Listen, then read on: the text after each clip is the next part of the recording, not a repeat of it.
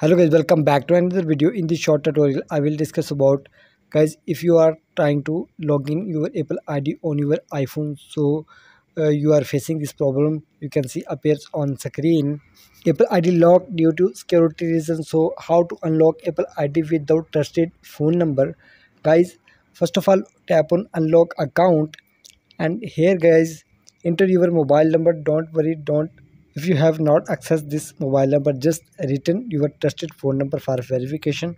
Here after entering mobile number simply tap on continue then wait for some second. Again now guys send a verification code. If you have not accessed this mobile number guys simply tap on cannot use this number?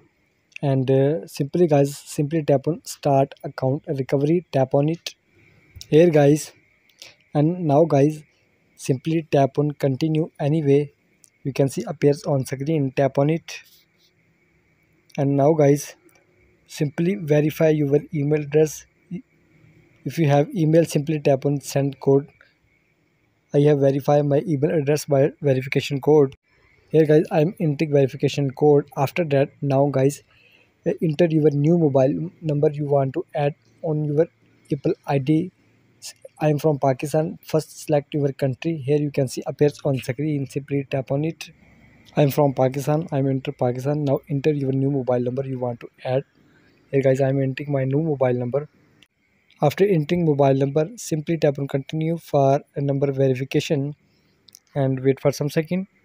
Now I am entering verification code.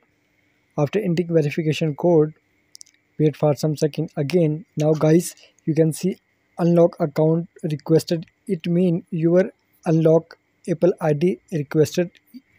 So guys apple team will contact you within 24 hour on the given gmail. Will also change your number and unlock your account after verification.